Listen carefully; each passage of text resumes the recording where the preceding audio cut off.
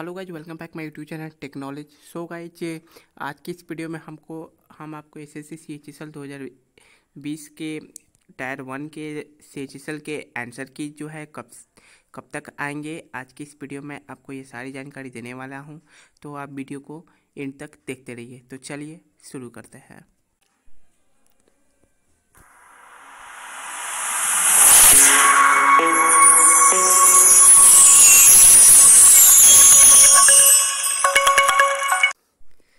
जैसा कि आप सबको पता है कि आपका जो है S S C C H S L का एग्ज़ाम डेट आ चुका है और आपका एग्ज़ाम जो है चार अगस्त से शुरू होगा और आपका एग्ज़ाम जैसे ही आपका इंड होगा, उसके बाद आपका सीरियल के एग्ज़ामिनेशन शुरू हो जाएँगे।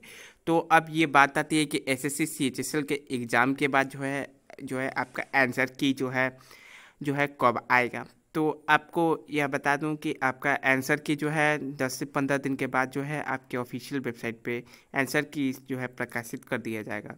क्योंकि एसएससी कोई भी एग्ज़ाम लेता है तो उसका आंसर की आपको जो है 10 या 15 दिन के बाद जो है ऑफिशियल वेबसाइट पे प्रदर्शित कर देता है।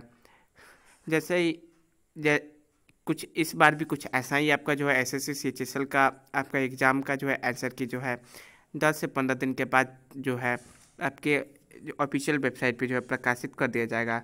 अगर कुछ देर हो सकता है तो ये जो है कुछ चेक इन अगर अगर आपको दस से पंद्रह दिन से कहीं ज़्यादा भी लग सकता है तो ज़्यादा से ज़्यादा आपको बीस दिन या पच्चीस दिन आपको ज़्यादा से ज़्यादा देखने को मिल सकता है। लेकिन ज़्यादातर आप आपको आपको मान के चलना होगा कि आपको जो है दस से पंद्रह दिन के भीतर में आपका जो है आंसर की सी एच का डेफिनेटली आपके ऑफिशियल वेबसाइट पे देखने को मिल जा सकता है।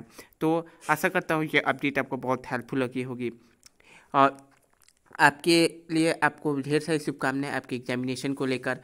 आपके एग्जामिनेशन चार अगस्त से है तो आपके लिए हमारी तरफ़ से आप सभी एग्जामिनेशन एग्जामिनर को और एग्ज़ाम देने वाले स्टूडेंट सबको बहुत सारी शुभकामनाएँ। एग्जामिनेशन आपका जो है बढ़िया हो। तो मिलते हैं अगले वीडियो में। तब तक के लिए bye bye and take care.